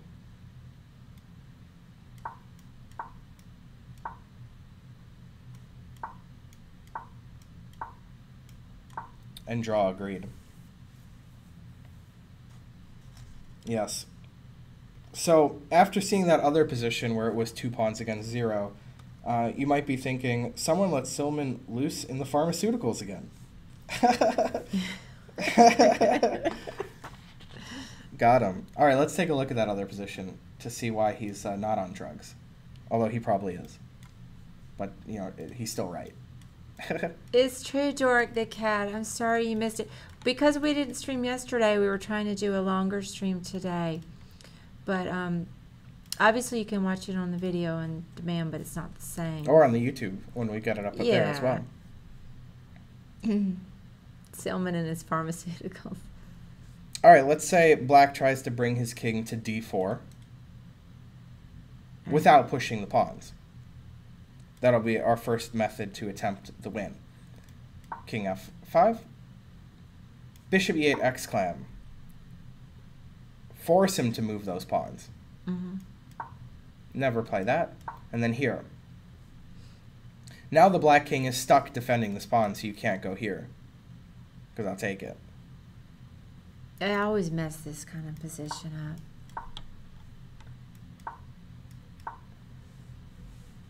Now black will have to push his pawns if he wants to win.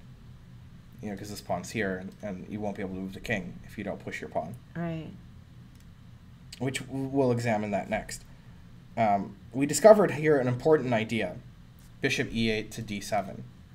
That was an important defending idea. When defending this kind of opposite color bishop endgame, the defender can tie his opponent's king down by using his bishop to attack the pawns, thereby forcing the king to protect or forcing the pawn to move forward. But as you might imagine, this kind of position won't have a lot of winning chances. Mm-hmm.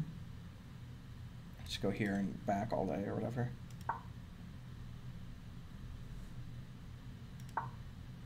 Okay. Okay, let's try another winning attempt. Black just pushes the pawns forward. F5. Bishop b3 exclam. Rule, the defender must attack the enemy pawn with his bishop in order to tie down the enemy king. That's true. This fine move gives black two choices. He could play king f6 and guard the pawn for the rest of the game, uh, which means he'll make no progress whatsoever, or he can push the pawn forward, which is clearly what black's aiming for anyway. However, once the pawn moves forward, we can demonstrate an important defensive idea. Um, bishop c2. There we go. There we have it. Obviously, now we can't push the pawn because then we'll just take it Mm-hmm. and get the both the the pawns off the board for the bishop. In this position here, black threatens, like if you play a random move, to play e4 check, king e3 bishop check, and then continue with the bishop and king and pawns down the board, which uh, could actually lose. For example, he gives a variation here, blunder, check, check, f4. Now the pawns are very far advanced. For example, bishop c2, check, never play f3, king f4, e3, check here. Now it seems like we still could draw it, right? I would think it looks Seems like, like we still could draw it. But all black has to do is march the king around here. Then we can play e2 and you can't sacrifice your bishop. Well, you can, but you only get one pawn instead of two. There's nothing that white can really do about this. Yeah, king bishop a6, king d4, bishop b5, king c3. Oh, bishop b5, king c3. Check. And here, and then this move's coming next and wins. oh yeah. Here's a rule. In this kind of endgame, two connected passed pawns on the sixth are winning. The defender must not allow the pawns to get that far. Yes. Yeah, we're still going, working class hero. So f4, bishop b3, e5, bishop c2. That's the defense. The pawns are on the fifth rank. Uh, well, it's actually sort of the fourth rank because black has them. But uh, we're not letting him go as deep into the territory as we saw. Believe it or not, this simple move uh, ends the game. Black can no longer generate any kind of threat whatsoever.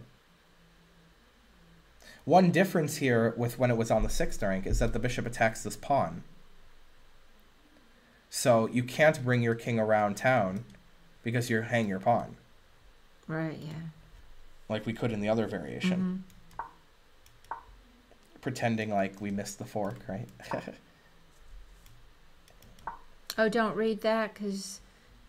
Uh, all right, I won't read that. oh, well, what what do you never? I read? thought she was at, out already, so she couldn't hear us read anything. Black would have chances if he could get his king to d4, like how we saw, uh, but the attack on f5 freezes it. So all white has to do is go back and forth.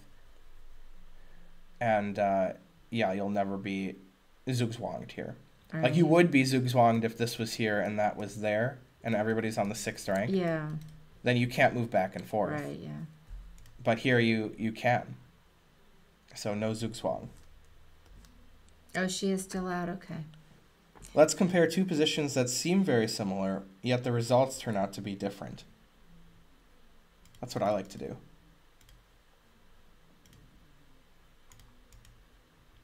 Yeah, me too. It helps understand it better. Right, definitely. Mm. Oh, yeah, I thought you were still out. she might smell that beer. Quit getting him in trouble over here. No, he said he needs to get back before, so she'll never know. I know he's joking because she'll know. So this position is it's over. White didn't let the black pawns get to the sixth rank, so all you have to do is go back and forth. And black can't even attempt to make any progress. You know, what can you do? You can't go around here Right. and we'll take the pawn. Can't push, we'll take that. So if I go back and forth, there's nothing you can do to try to win. Draw agreed immediately. Mm-hmm. Now let's flip it. There we go. Now this is actually going to be losing. Yeah, so the other position was a dead draw, but this is a loss. I'm guessing it's because the bishop's not attacking that pawn anymore, Yeah. like it was in the other position. So black can use his king to help. Mm-hmm.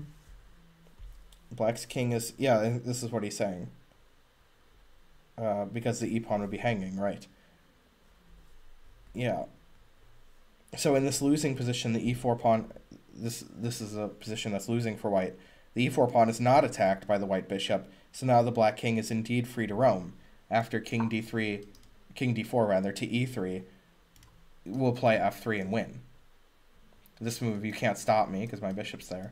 Then I'm going here next after that, and then I'll win by force. Mm-hmm. Get our pawns to the sixth rank, and then and it wins like we already saw. So remember, the correct defensive stance is to have the defender's bishop tying down the enemy king to one of the pawns. This is not the correct defensive stance because of that. So some of you might be wondering what happens if black leaves his pawns back a bit and instead strives to improve the position of his king in order to avoid the draw we've seen. Um, okay, let's look at a simple example of this and ignore every all the words that he says. Here we go. Get this guy here. Couple of pawns. Oh, come on, usurped his position there. Here, and then this.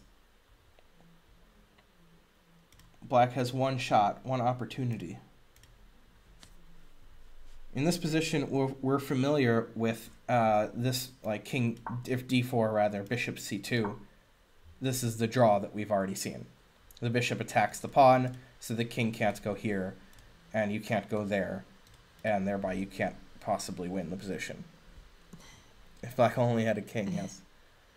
A queen. Or queen, right, right. I can't read, sorry. but I understood the joke. So, let's say black uh, tries a little bit trickier here and plays king d4, right?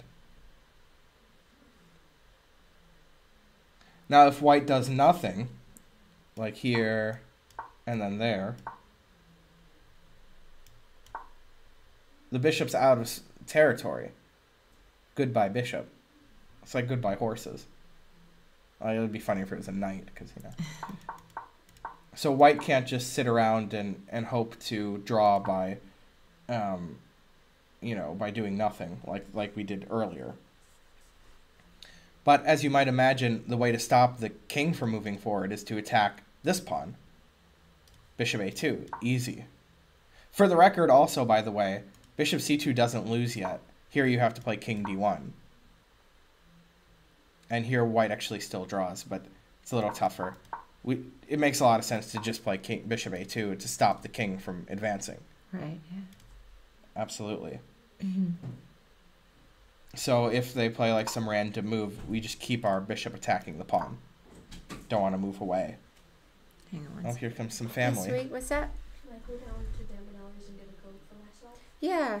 Um. And we're we're nearing another meal. Are you hungry yet? Um, no, not yet. Not yet. Okay. Yeah, you can do that. And then bishop back to b1 Mm-hmm. to set up the same defensive setup that we've had. And this will draw. Nice. Pretty instructive stuff there.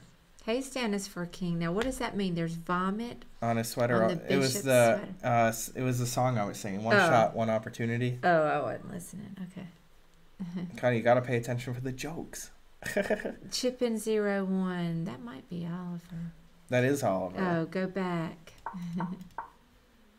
Back to where? Back to where I once belonged. you go back. Bishops don't wear sweaters. And if you were the Pope, they'd be like, straighten up your Pope hat. That's a Futurama one. Anyways, ignoring Oliver for now, let's move on to the next thing. He says King F5. That's what he was saying. Let's see if where we can ever play king. You mean right here, king f5? I'll just do nothing. I just do nothing all day. That's what I do. I'm pretty good at it. His name was It Was You. That's from Stan. Jay Slim always does Stan. I know. He's He, never does anything. He I last time I saw him, he it was Stan. It's, I've never heard him do anything. Well, one time, Not I, Stan? one, no, one time I did hear him do um, another. I, I don't know if it was another Eminem song or not. So now I have a question then, since Yes. Oliver brought this up. Um. Oh yeah, that wouldn't make sense. Never mind. I'm gonna get my hair professionally dyed crazy. Thanks. I do know Eminem. Yes. Well, I, I you know I lived in Michigan most of my life, so you hear a lot of Eminem on the radio, of course. Mm-hmm. All right, let's talk about the next thing. Hey, would you ever do consider doing Eminem at doing Stan or something? I like singing more than rapping. Yeah. But I think I have the uh, the necessary energy to rap. Don't you think? Yeah. Definitely. I was gonna try not a rap, but a hip hop, but um, where there's you know mix. hmm But um, since I'm Southern and I speak slow, I mean, Ask him to slow it down a, a little I have to bit. like completely change my delivery. Yeah, I think make I, it like 30 beats I think I could do something. it. I think I could do it. I just have to speed it up. Yeah, we're hey, Lady Buell. Um, I'm not gonna dye my hair, Boss Key Farmer, because it's too much work. It is to, a lot of work to maintain it. Especially when your hair's so long. Yeah, well, I need to get cut, but yeah. um, but you know, I do love colored hair. I have to say, yeah, me too. love it. Loving every minute of it. All right, now we'll talk about fortresses in a bishop up endgame. So somebody's going to be a bishop ahead. The idea of a defensive fortress is pretty important. You're not expected to memorize lots of fortress examples. Instead, seeing a few patterns and keeping the possibility in mind will serve you well. Fortresses in bishop up endgames are fairly common, but don't tell Sam Shankland, am I right? Is that referencing a particular? Yeah, where he resigned against Geary and it was a draw. Oh, I heard about it. I just haven't seen. That that was a bishop up endgame. Oh, okay. So usually they occur when the stronger side has a rook pawn or a knight pawn that gets down to the sixth or seventh rank, or if the rook uh, rook pawn is the wrong color, like how we've seen many times before. Rule: There are no fortresses for bishop pawn, queen pawn, or king pawn. Interesting if true. Hey, um, since you're here, I'm here. can I instead of going home, maybe let Archer go with That you? was the idea. oh, awesome! I wanted to go to Publix, but I don't know if I should. Yeah. Probably just not. I mean, he can go in. He's got a mask. Ooh. Do you have a mask? He Well, went. what's the problem? He went to get a drink at Van Manelli's when he Yeah, I heard the door. We're gonna end in a minute. Are you? You're not leaving right this second, are you? Mm-mm. Oh, okay, good. I did my two videos. Yay. Hooray. It is Benjamin. Yes. This looks like the kind of game Shankland would resign. I already made that joke. yes, it is the ki- kind of thing that Shankland would resign. And then Geary would demand a draw. Right. So this will probably be the last. Is there? Oh, actually, how many examples are there? Oh. This is where we are. And then Oh this yeah. is Oh, the oh, end let's try to finish. this section. let's try yeah. to finish then. So white know reaches a dead end if black shuffles his king between c8 and b8. You can't approach and win. There. Uh, now I have to do legal moves only. God dang it. You could lose on purpose. You could lose on purpose. It's not easy, but you could do it. Yeah. Then if here, there. It is kind of tough because you have to run away and then not No, stalemate. you, you him. made it. King c6 and play king a8. Oh yeah, that's cool. That's a good way to lose on purpose. Yeah. Although okay, so I have to waste a move Right. here, and then here, And then lose on purpose. and then mate. Right. Nice. I But was this losing on move would be- before Spencer was born. That move would be preferred, king c8. Definitely. All right, let's look at another similar example. Just with a couple little changes. This will go there, and even give him another pawn. Why not? So now it's a bishop and a pawn ahead. So Shankland couldn't wait to resign at this point, but it's a draw. Note that sacrificing the b pawn to give him some more squares to work with is not enough because, like we saw in the previous example, that was still a draw. Mm-hmm. So, for example, bishop d5, you can never play here because that forces a stalemate, right? So all you could do is move your bishop back and forth, and I'll just go back and forth myself. And if you ever stop me, it's stalemate. So he tries to queen, but this is back to the same position that we just looked at, draw. All right, we'll look at another one. Actually, I already mentioned this one when we talked about wrong color, or it's actually two pawns against zero. This is like part one or two. Here, this position. Draw. You can't win from this position with white. I already mentioned why, because you can't play here equals queen. If it's a pawn, you win. They take it, you go here, they go there, you push, and then you win. King a7, king c7. But with the bishop, you have to sacrifice the bishop on this square, which that's not gonna, that's not gonna w- work for opposition. After I take, you can't get opposition because I'm on g8 instead of h8. So this is a draw. If only you Mm. could play h1 equals queen, he says. Just like I said. Bishop's worse than a pawn here. Mm-hmm. Draw. No, nothing to analyze. Let's look at like this.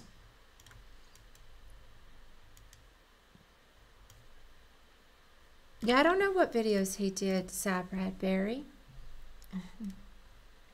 This one's also a draw. All black has to do is play king g8 to h8. You can't win. There's no way. Mm-hmm. You can never attack the pawn without stalemating me, is the problem. You have to go here or here and then both stalemate. Even still, I can't, yeah, I can't move away to undefend it. So, Right. draw. Even this position, like this, is a draw. With the king outside the corner and the bishop here. You'd think, like, oh, maybe I can win this, right? Because the king's not getting stalemated. But even this is a draw. White has no chance of winning if black's king gets to g8 and h8, which means that this bishop must stay here the whole time, or else I'm running over here, right? Right. But what are you going to do? You can't approach the pawn without stalemating me. You can't approach the pawn at all. You can't come around here and attack the pawn. And if you go here or here like he is now, it's stalemate. Or if you move the bishop, then I could go in the corner and it'll draw the way that we saw earlier. So, yeah, if it's a knight pawn or a rook pawn, we have opportunities for a, a fortress, but with bishop and center pawns, you're not going to get a fortress situation that we've just seen in this example or the previous two or three examples. For example, let's say that we move everything over. Like this. Here, there, here, like that. Now white to play wins pretty handily. So all we have to do is not stalemate him, first of all, right? And then we could just step up. And now here, this would be stalemate if we move the guys over. Mm-hmm. But because he has an extra H file to work with, not stalemate. He goes here, we take, game over. Yeah. It doesn't get too much easier than that. Yeah, that's pretty easy. All right, so that's all he had for opposite color bishop or, or bishop up end games that are a draw. Mm-hmm. But next time we can pick up with the queen end games in this part, and then we'll be done with this part. Okay, and that's part six. Yeah, Okay. almost done with part six. You'll know as much as an expert about the Mhm, opening. mhm.